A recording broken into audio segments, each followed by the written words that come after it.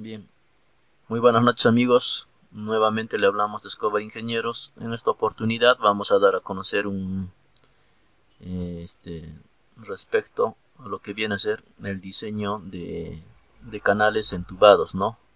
Aparentemente este tema eh, pareciera muy simple, pero sin embargo, si analizamos, tiene cierto grado de, de en este caso, de análisis, ¿no? Y para lo cual vamos a dar a conocer una extensión o un nuevo módulo que se ha desarrollado en este caso del PAG ¿no?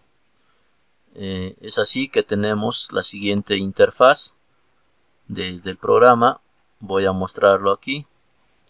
Entonces tenemos esta interfaz del software en donde podemos apreciar lo siguiente no tenemos lo siguiente podemos apreciar acá el, ingreso del caudal el ingreso de la pendiente. Bueno aquí la relación de, del tirante con respecto al diámetro no la relación en porcentaje. Y automáticamente esto es el cálculo del diámetro aproximado no aquí tenemos lo respecto a la rugosidad. Aquí viene a ser el tipo de tubería en función de, de, la, de la tubería que vamos a usar, ya sea una tubería este tipo PVC UFNT piso 4435, así como también en función de la serie. Bueno, también tenemos aquí como dato de entrada la temperatura del agua, con el cual se determina la viscosidad cinemática del agua, ¿no? En fin, asimismo, eh, tenemos aquí la, salida de resultados de la tabla y el, en este caso el respectivo dimensionamiento una vez no que se procede a dar en, calcular. Entonces en ese entender simplemente vamos a hacer un ejemplo aplicativo y vamos a dar a conocer no como les decía el programa trae incorporado una base de datos ya. Si nosotros podemos hacer el cambio por ejemplo acá si usamos la normativa en este caso las tuberías de la serie 21138 de la NTP ISO esto antes era la, la NTP 399-163 ahora la normativa técnica peruana los ha enmarcado en la NTP ISO 21138 ¿no? que son básicamente estas tuberías corrugadas a diferencia de la, de la tubería de la NTP ISO 4435 que son estas anaranjadas, ¿no? Como reitero, el software es netamente para diseño de canales entubados a gravedad, tal como menciona el nombre.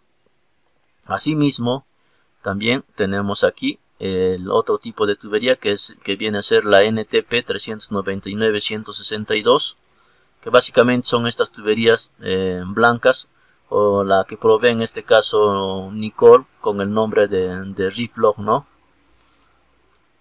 Asimismo tenemos también eh, ahora las tuberías estructuradas de HDP tenemos aquí que están enmarcadas también dentro de la normativa de la 21138 en el, en el apartado número 3 que son estas tuberías no estructuradas.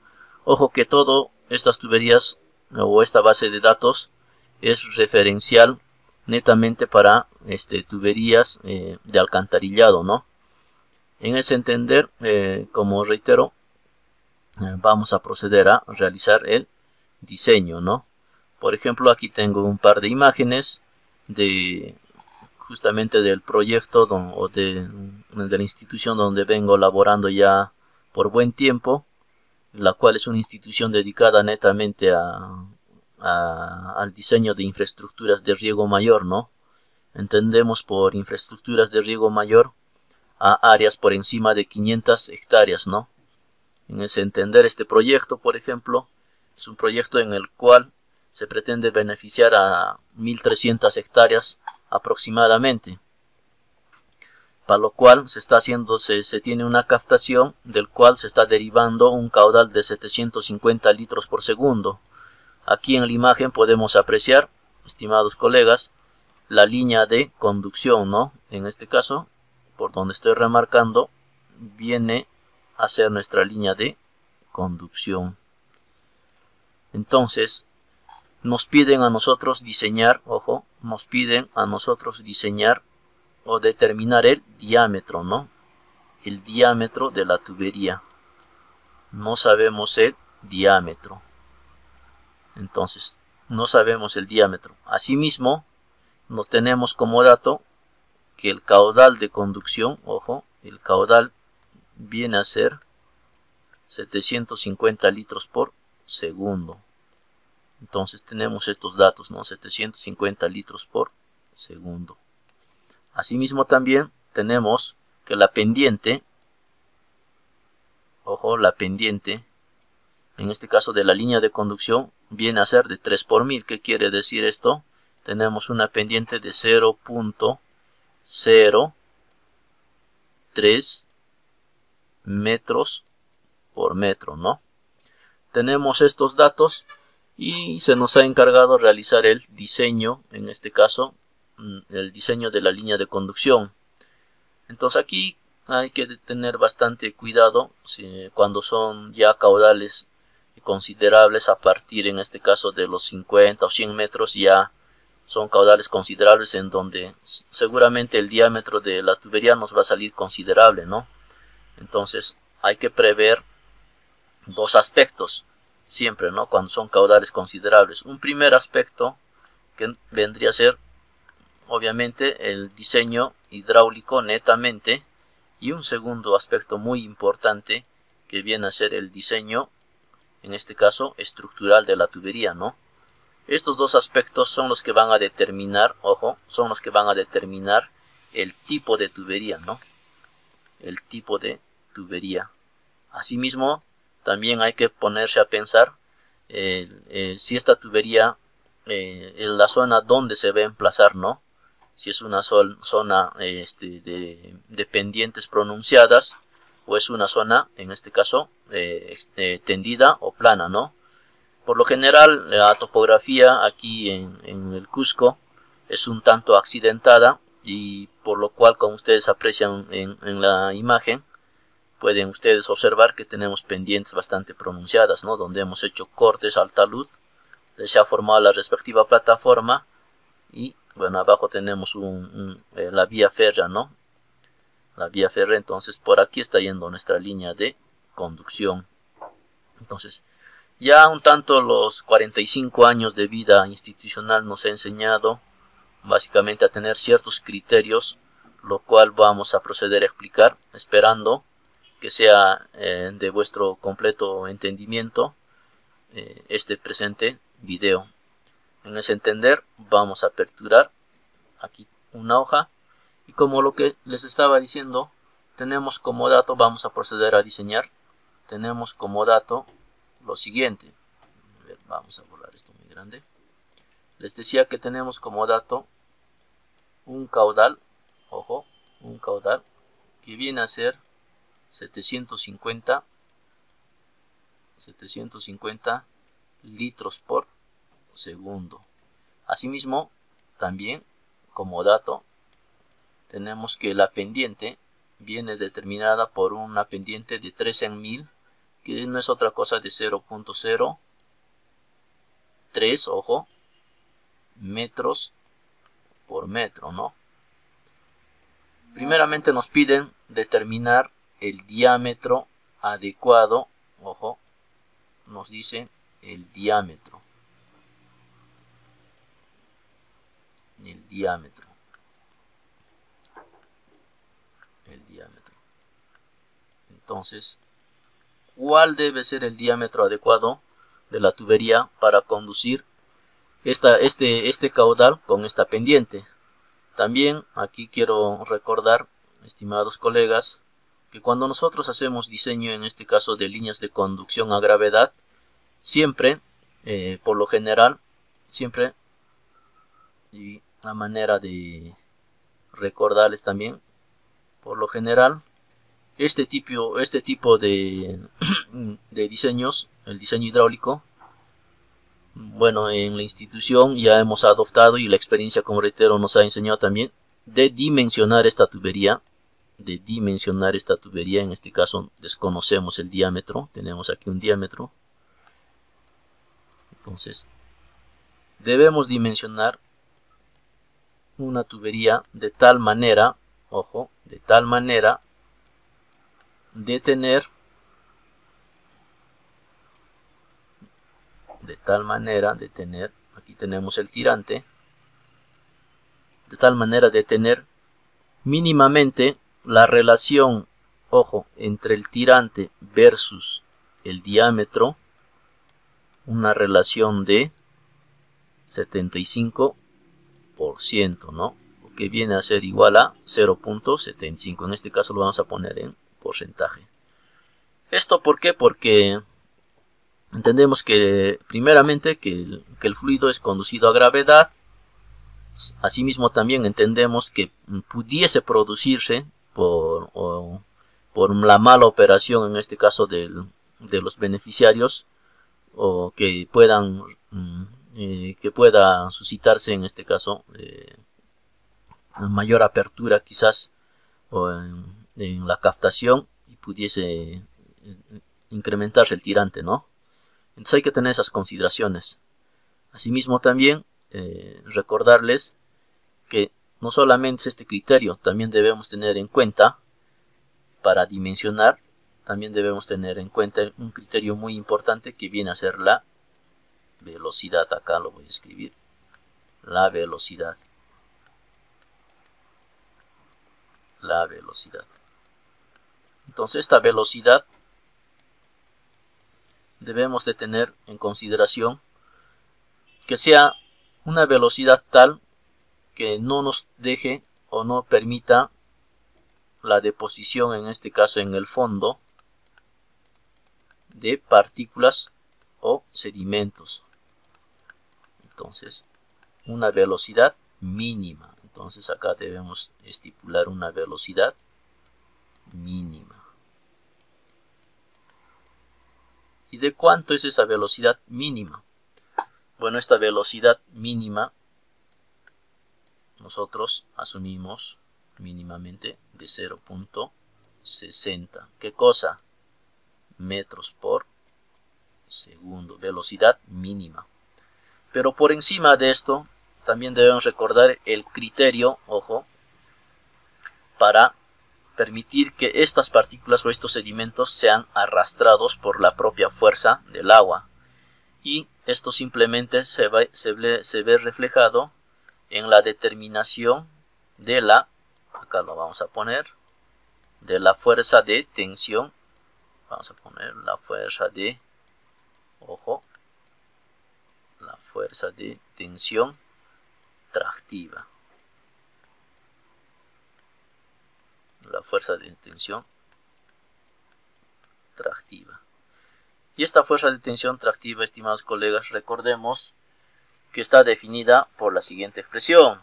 En este caso tenemos, acá lo vamos a denotar de esta manera, que la fuerza de tensión tractiva está denotado por la siguiente, por la siguiente expresión donde tenemos que la densidad del líquido multiplicado esto, ojo, por la velocidad media por, ojo, el coeficiente de rugosidad del material, esto elevado al cuadrado, y todo esto todavía dividido, ojo, entre el radio hidráulico de la sección elevado a la 1 tercio. Entonces, esto solamente, como reitero, hay que recordar esta expresión de la tensión tractiva. Pero esta tensión tractiva debe ser, ojo, debe ser, para que pueda arrastrar estos sedimentos, debe ser mayor o igual a un valor crítico que es, que es 0.2. Esto viene determinado en unidades de kilogramo fuerza sobre metro cuadrado. Entonces hay que tener en consideración, estimados colegas, esto, estos criterios para el diseño, ¿no? Hay que tener ojo estos criterios. Entonces, asimismo también, como les mencionaba, vamos a, hacer primeramente el dimensionamiento, como habíamos dicho, considerando, acá, considerando el caudal de 750 litros, la pendiente de 13.000 y debemos determinar el diámetro, ¿no? seguramente eh, si nosotros hacemos uso de en este caso del H canales lo que eh, cualquiera de nosotros o cualquier otro profesional o cualquier estudiante o salido egresado lo primero que realizaría sería quizás hacer uso del software del H canales no y en este caso tenemos aquí vamos a hacer la apertura del, H canales para para hacer la, la demostración no entonces hacemos la apertura aquí del H canales y donde vemos aquí donde dice la pestaña de otros, buscamos donde dice sección circular relación tirante diámetro. Hacemos un clic en ahí y tenemos el siguiente cuadro de entrada. Podemos apreciar que tenemos un caudal de 750 litros. Yo lo voy a poner de 0.75. Ojo. La relación nos dice que es del 75% y es como les reitero es el criterio que se, hace, que se, que, se usa para el dimensionamiento de líneas de alcantarillado en este caso para riego no otros pueden usar este quizás el 80% 85% pero en fin como reitero la experiencia nos ha enseñado ya a determinar o a dimensionar con 75% entonces ponemos aquí 0.75 la rugosidad, ojo, la rugosidad es directamente vinculada al tipo de material, ¿no? Entonces esta rugosidad la van a obtener ustedes de los catálogos de los proveedores de la tubería, ¿no? En este caso vamos a suministrar una rugosidad de 0.010. La pendiente, la pendiente es la que nos suministra aquí la topografía y la con la, con la cual se ha realizado el trazo. Es una pendiente de 3 en 1000, entonces 0.03.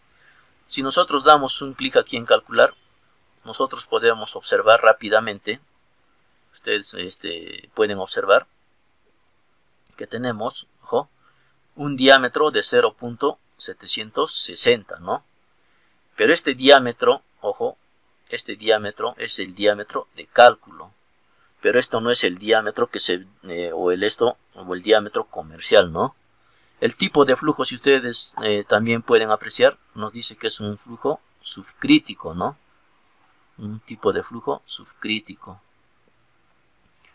Entonces vayamos a también a, a realizar este mismo ejemplo, pero con el programa, ¿no? Con el programa. Entonces eh, vamos a realizar, a ver, la captura de esto o si no lo dejamos acá lo minimizamos. Y como reitero vamos a hacer el diseño con el software no aquí tenemos el software.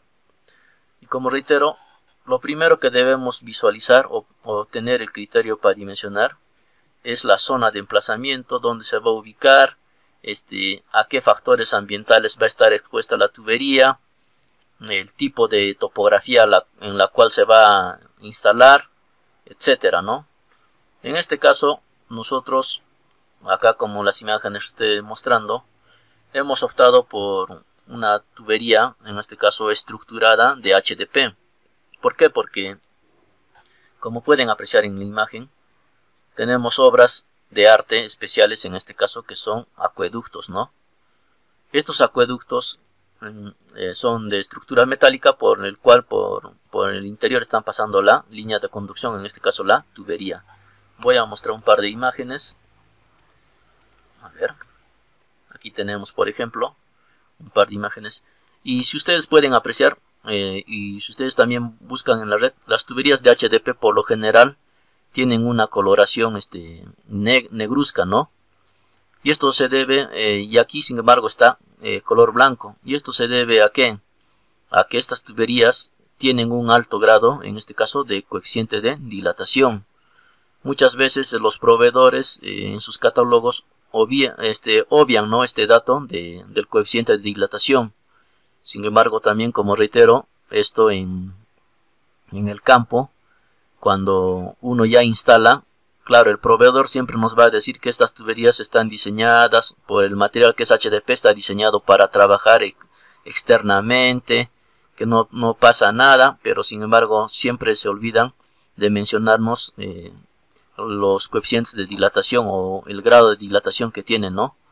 Entonces aquí, por ejemplo, tenemos la tubería expuesta y por el alto grado de dilatación que tiene, se ha visto por conveniente pintarla exteriormente de blanco.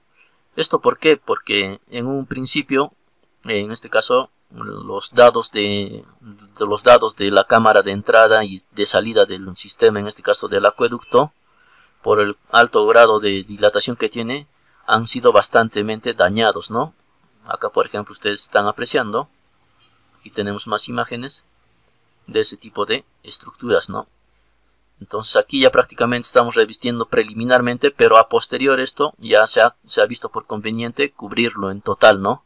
¿Por qué? Porque, reitero, tiene bastante eh, influencia, en este caso, el coeficiente de dilatación de la tubería. Entonces, eh, vamos a mostrar aquí. Entonces, para lo cual vamos a usar este tipo de, en este caso, de, de tubería la HDP, seleccionamos de la base de datos y automáticamente aquí en este lado se nos va a cargar eh, los diámetros comerciales ¿no? de, de este tipo de tubería. Por ejemplo aquí tenemos diámetros que van del diámetro nominal, el diámetro exterior y el diámetro interno. El diámetro nominal viene a ser 600 que coincide con el diámetro interno y el diámetro externo, bueno, varía, ¿no? Estos están en milímetros, entonces este es el catálogo, ¿no? Entonces nosotros dimensionamos, ojo, habíamos dicho que tenemos un caudal de 750 litros. La pendiente, habíamos dicho que es de 3 en 1000 y eh, lo que viene a ser eh, la relación del tirante y versus el diámetro, vamos a dimensionar la tubería para una relación del 75%, ¿no? automáticamente si nosotros hacemos clic aquí si nosotros movemos podemos apreciar yo puedo jugar. Si yo dimensiono al 76% me va a dimensionar que es el diámetro aproximado es de 726 si voy jugando va variando este diámetro no en todo caso vamos a dejarlo con 75% y tenemos un diámetro aproximado de 731 milímetros asimismo también hay que recordar que la viscosidad tiene influencia en la determinación del número de Reynolds, así como también influencia en la determinación, eh, en este caso, eh, para la tensión tractiva, ¿no? Perdón, para el número de Reynolds eh, simplemente. Aquí tenemos, si nosotros variamos la temperatura del agua, tenemos que la viscosidad cinemática también se va a ver influenciada. Por ejemplo, yo hago la variación de la temperatura del agua a una temperatura de, bueno, de, bueno, se me ocurre, acá en, en zonas altoandinas, en el Cusco, por ejemplo, tengo una temperatura de 15 grados. Entonces veo que la viscosidad cinemática se ve afectada también, ¿no? Asimismo también, eh, esta viscosidad cinemática, vamos a, se, se calcula con la ecuación experimental de, en este caso, acá les voy a mostrar que es esta, ¿no? La ecuación de Poiseuille y la formulación matemática, creo que la si no me equivoco, aquí la tengo, ¿no? Esta viene a ser la formulación matemática, en este caso para la determinación de la viscosidad del agua, ¿no? Pero esta viscosidad es la viscosidad cinemática. Entonces tenemos aquí, ¿no? Tenemos que la viscosidad cinemática según la ecuación empírica de Poiseuille está determinada por esta expresión. Bueno, esta bibliografía, esta bibliografía es la del, la del ingeniero Antonio Campos Edeño, que es Hidráulica Hidrología para Ingenieros. Entonces, ustedes también la pueden encontrar en la red, o si desean, pueden también eh, solicitarnos que gustosamente estaremos dándolas eh, o estaremos compartiendo, ¿no? Entonces, aquí tenemos, ¿no? La viscosidad cinemática, que está en función, reitero, de la temperatura del agua.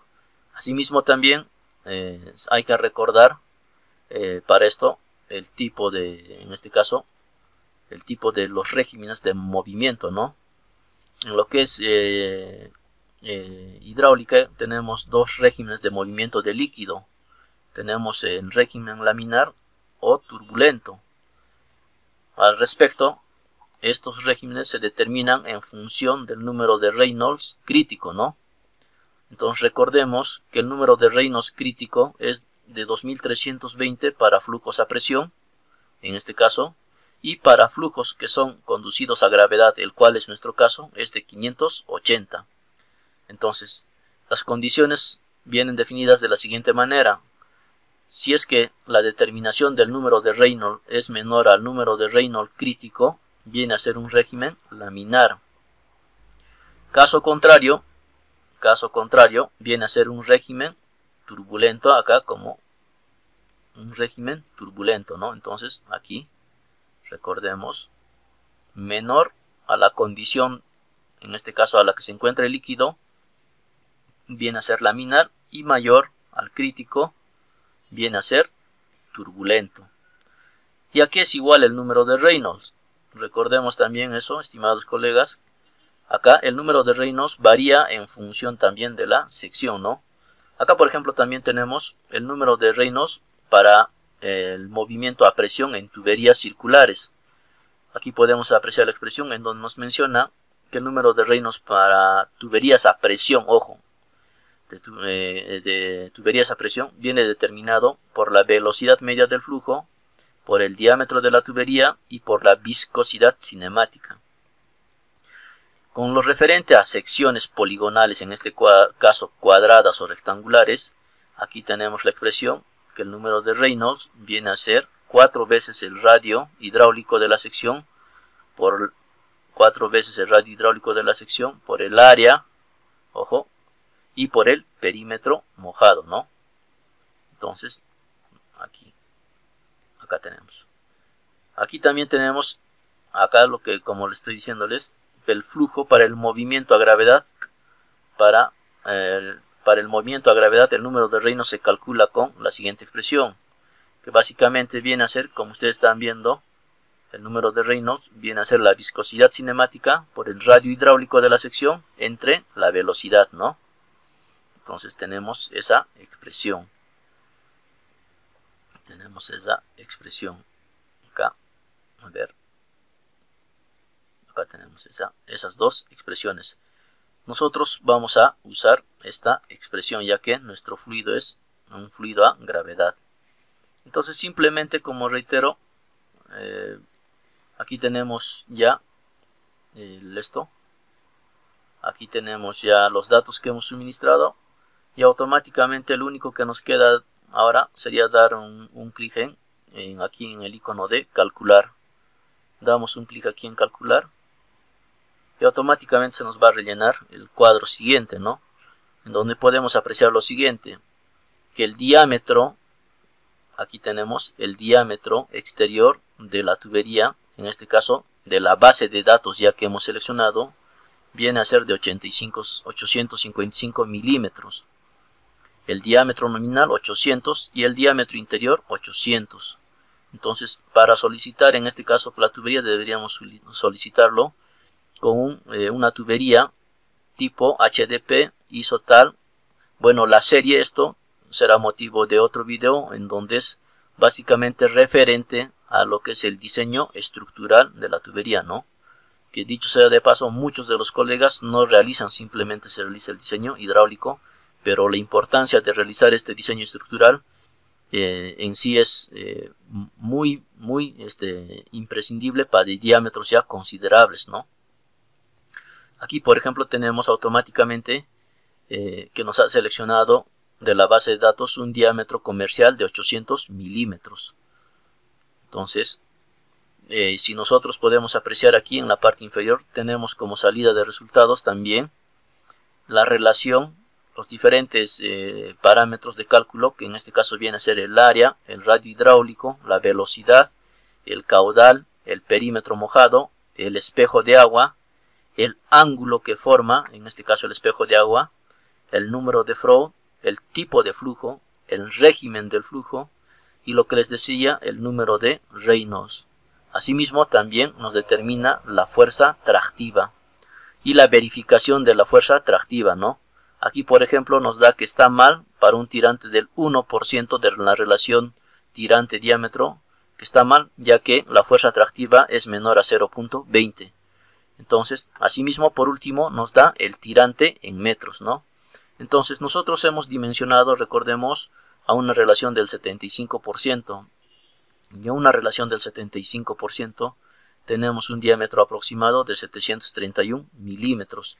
Entonces aquí vamos a ver en el software, en el H canales, nos ha, nos ha dado un valor de 760. Bueno, seguramente es por lo que no hemos variado la rugosidad. Vamos a modificar con la rugosidad de 0.09 y tenemos los mismos resultados. Ojo, tenemos el diámetro de 731 y 731 milímetros y aquí 731 metros.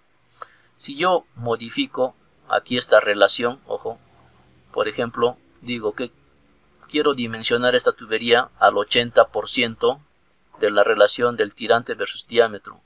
Yo simplemente hago un clic aquí y tengo al 80% tengo un diámetro de cálculo, ojo, esto no es el diámetro comercial, esto que quiero, quiero que quede claro, simplemente esto es el diámetro exacto de cálculo de 712.18. Lo propio hago la modificación aquí, en este caso en el, en el software del, del, H, del H canales. A ver, aquí por ejemplo, estamos diciendo que queremos dimensionar al 80%, ¿no? Al 80% y damos un clic en calcular y tenemos 712 y aquí tenemos 712.18, aquí tenemos 712.2 que ya lo ha redondeado, ¿no? Que prácticamente es lo mismo.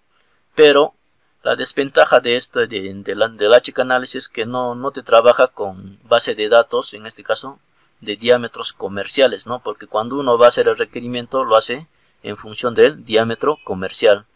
En ese entender, eh, básicamente eh, usamos o tenemos este software que también nos permite, eh, en función de, la, de, las condiciones de la temperatura del agua, nos permite determinar el número de reino, ¿no? Entonces, en este caso, simplemente, por ejemplo, lo voy a regresar al 75%, voy a dimensionar y voy a dar un clic en calcular. Y automáticamente ya tengo los resultados. Tengo los respectivos resultados aquí las respectivas este en este caso lo que viene a ser la determinación del área radio hidráulico la velocidad el caudal no es otra cosa que la aplicación de estas expresiones matemáticas que también lo pueden encontrar ustedes en la bibliografía de, este, de Máximo Billón o en cualquier texto de hidráulica, ¿no? Aquí tenemos, por ejemplo, para una sección hidráulica, en este caso que estamos analizando circular, tenemos las ecuaciones para la determinación, ¿no? Por ejemplo, tenemos el área hidráulica, viene determinada por esta expresión, el perímetro mojado o el perímetro, lo propio, aquí, el radio hidráulico, lo propio, y el espejo de agua, lo propio. Y aquí tenemos, ¿no? En función del ángulo. Entonces, automáticamente ya el software nos realiza estos cálculos, así como también nos hace la verificación. Y aquí nos trae automáticamente el, caudal que se está captando, pero este caudal, ojo, es con el diámetro comercial de la base de datos que uno ha seleccionado. En este caso el diámetro comercial es de 800. Entonces con ese caudal de 800, con ese diámetro de 800 y teniendo en consideración que la relación tirante-diámetro es del 75%, nosotros estamos captando un caudal de 953.99 litros por segundo, que es superior al, al, que, al de diseño, es superior, ¿no? Bastante holgado inclusive, ¿no? Quizás podríamos esto optimizar en respecto al diámetro, si nosotros nos, eh, quizás eh, optamos por otro tipo de tubería o simplemente realizamos el dimensionamiento con otro eh, criterio de porcentaje de relación, ¿no? En fin, acá también pueden apreciar los respectivos valores tanto para el área, el radio hidráulico, la velocidad, el caudal, el perímetro, el espejo de agua, el ángulo que forma el ángulo, el número de flow, el tipo de flujo como les había mencionado, el régimen, el número de Reynolds, la fuerza atractiva y el tirante, ¿no? Entonces esto se ha hecho para qué? Para toda la relación desde el 1% hasta el 100%, ¿no? Entonces si nosotros lo bajamos aquí y vamos hasta la relación del 75%, vamos viendo, vamos viendo y automáticamente el software también nos determina la línea donde hemos determinado esa relación, ¿no? Por ejemplo, tenemos al 75%, aquí tenemos que el área viene a ser este valor y el caudal que se está captando, ojo, al 75% de la relación de tirante diámetro, pero ¿de qué diámetro? Ojo, del diámetro comercial viene a ser de 953 litros. Frente a los 750 es bastante holgado, entonces podríamos optimizar este tipo de, en este caso, de diámetro, ¿no? Quizás cambiando por una tubería eh, un poco, eh, por una tubería o por otro tipo de tubería, ¿no? Que se ajuste más a, a esta relación, ¿no? Asimismo tenemos también, como les había dicho, aquí el valor del perímetro, el espejo de agua, el ángulo que forma, este ángulo que forma, como eh, ustedes están viendo, viene a ser de 240 grados. ¿Qué significa esto? Eh, básicamente sería que tenemos nosotros nuestra sección. Bueno, aquí lo voy a dibujar. Tenemos aquí nuestra sección y también tenemos aquí el tirante. Vamos a... Tenemos aquí el tirante. tenemos el centro, ojo,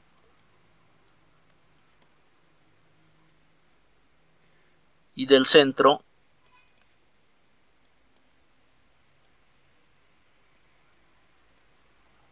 aquí el ángulo al que se refiere viene a ser este no este ángulo para nosotros de acuerdo al cálculo nos está dando un ángulo de 240 grados centígrados 240 grados. Entonces, para una relación del 75%. ¿De qué? Del diámetro, ¿no? Pero ¿de qué diámetro, reitero? Ojo, es del diámetro comercial de la base de datos. No viene a ser de este diámetro. ¿Por qué? Porque este diámetro, obviamente, cuando uno va a hacer requerimiento, este diámetro no va a encontrar, ¿no? Tiene que ser con los diámetros comerciales con los cual se debe de dimensionar. Entonces, básicamente serían el, el, pequeño programita. Nosotros también podemos modificar esto. Si deseamos podemos limpiar. Si deseamos esto mismo podríamos hacer por ejemplo para considerando tubería la, la tubería la log y también vamos a hacer nuevamente nuevamente el cálculo y tenemos que también para esa tubería sigue siendo el diámetro comercial de 800 no buscamos quizás otro, otra tubería. A ver vamos a limpiar otra base de datos. En este caso este es HDP vayamos con este tipo de tubería de acá. La tubería la 4435 la naranjada damos un clic en calcular. Ah bueno y nos sale un mensaje no nos dice ingeniero no se encontró diámetro comercial en base de datos de tuberías por favor cambie tipo de tubería esto a qué se debe a que en los catálogos o los fabricantes de este tipo de tuberías Básicamente si nosotros revisamos aquí la base de datos, vemos que máximo el diámetro que, que fabrican es de 630 y el diámetro interior viene a ser de 610. Sin embargo, el dimensionamiento nos está saliendo un diámetro de 731 milímetros, es el diámetro aproximado. Como es mayor al, máximo que tiene la base de datos, no encuentra, ¿no? Por eso es que nos sale dicho mensaje. Entonces, eh, si nosotros modificamos o deseamos cambiar esto, por ejemplo, vamos a dimensionarlo para un caudal, por ejemplo, de 250 litros. Para un caudal de 250 litros. Entonces, le voy a dar un clic aquí. Para un caudal de 250 litros, vemos que el diámetro es de 484. Le voy a dar clic aquí en calcular. Y automáticamente ya encontró, ¿no? En la base de datos. Entonces, si nosotros revisamos la base de datos, el uno, uno pensaría, ingeniero, ¿por qué no seleccionar el diámetro de, de, de, 480?